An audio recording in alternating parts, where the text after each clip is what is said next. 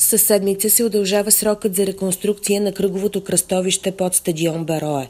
Ремонтните работи продължават до 25 август.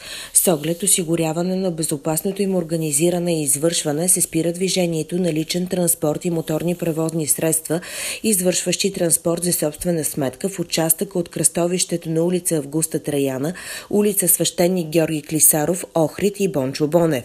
Ще се движат само колите на обществения транспорт, които които ще бъдат пропускани с повишено внимание.